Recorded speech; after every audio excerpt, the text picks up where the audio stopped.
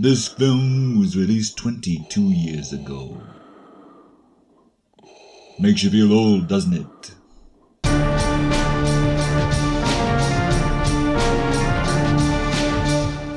Independence Day. Now, this is the story all about how the world got flipped turned upside down. Now, I'd like to take a minute, just sit right there, and tell you how Will Smith and Goldblum saved the world from despair. This is the film that proved once again that aliens are just no darn good. Following the success of 1994's Stargate, Roland Emmerich and Dean Devlin deliver a truly impressive summer blockbuster in a time when that actually meant something. And although it was released in 1996, this film still holds up to this very day. When tentacled aliens show up to destroy us and take our resources, it's up to the military and 90s Jeff Goldblum to stop them. It's like Battle Los Angeles, except this was first, and it's actually entertaining. Roland Emmerich and Dean Devlin have taken the alien invasion films of the 1950s and updated the genre with more explosions and destruction than audiences had ever seen before. It hit at the peak of the 90s, a time of Pogs, Digipets, and Surge. Remember Surge? Man, I wish they'd bring back Surge. Back when Disney Channel was good, Cartoon Network was good, and 20th Century Fox still made good movies. Man, I miss the 90s. Now, not only was Independence Day one of the biggest films of the decade, it was also the breakout movie role for Will Smith, turning the Fresh Prince of Bel Air into the king of the box office, landing him the lead role in other sci fi blockbusters like Wild Wild West and the Men in Black franchise, before he started making stuff like Hancock Suicide Squad and Jaden Smith. Roland Emmerich and Dean Devlin are at their best with this film, balancing tension, excitement, and fun, all while juggling a massive ensemble cast, complicated special effects, and a compelling character driven story. Where you feel the gravity of the situation without leaving the theater feeling depressed, as is the case with most modern films. They provide a movie going experience that modern films just can't seem to replicate.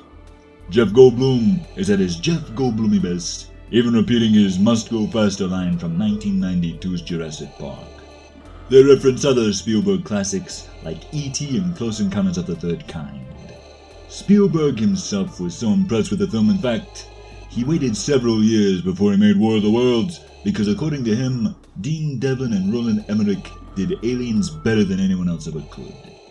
And who would have thought Lone Star from Spaceballs, Bill Pullman, could give one of the most inspirational speeches in cinema history? I know it's kind of my thing to rip crappy movies apart, but honestly, with the exception of Randy Quaid's ridiculous performance, there isn't much to hate about this film, especially when you consider when it was made. Cities are destroyed all the time in modern superhero films, and with CGI, you can create anything you can imagine.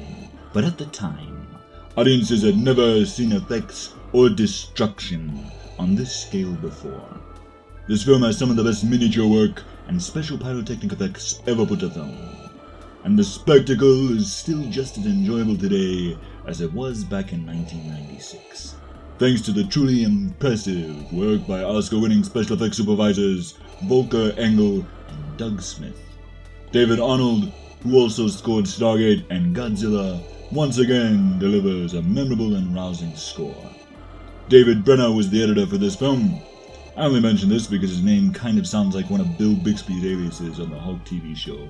And I know it's a little off topic, but during the final battle of the movie, I couldn't help but hear the voice of Bill in my head saying, The hatches are open! if you're a 90s kid who grew up playing Star Fox 64, you know exactly what I'm talking about. The Katina Outpost was one of the best levels in the game. In the end, Independence Day is a fun, exciting special effects extravaganza. So while you enjoy your hot dogs and fireworks this 4th of July, pop this movie in and treat yourself to a real classic.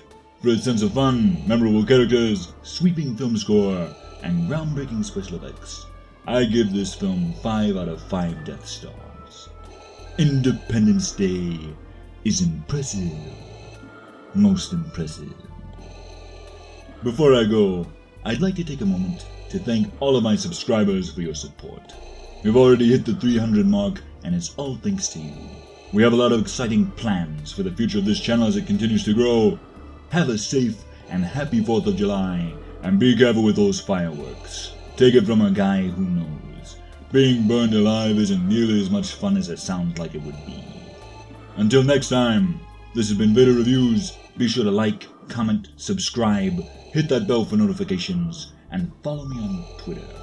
Join the Empire today. You do not yet realize your importance. Share these videos, and together we will rule the internet. And always remember, you don't know the power of the dark side.